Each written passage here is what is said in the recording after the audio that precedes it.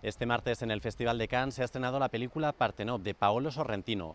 Es una epopeya femenina llena de amor y de libertad que ha estado grabada entre Italia y Francia. También se ha estrenado este martes la película Marcello Mio del director francés Christophe Honoré, que habla sobre la historia de una mujer que hace todo lo posible por parecerse a su padre. Se viste como él, habla como él e incluso respira como él. Ambas películas forman parte de la sección oficial del Festival de Cannes y por tanto optan a la Palma de Oro, el mayor galardón de este festival.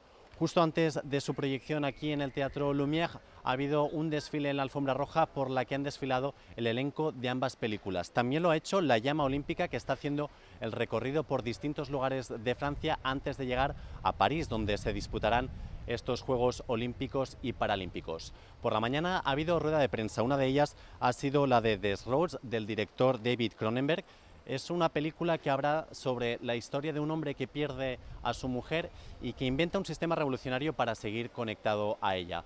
Ayer cuando se estrenó, la verdad que no fue recibida con demasiado entusiasmo y a respuesta a los periodistas lo que ha contado Cronenberg es que esta es su película más autobiográfica.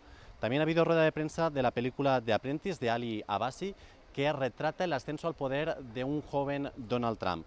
En este caso ha recibido críticas positivas pero también negativas y a respuestas a los periodistas lo que ha contado Abasi es que esta no es una película sobre Trump sino sobre el sistema político, un sistema político en el que no se diferencian tanto republicanos y demócratas, ha dicho este director.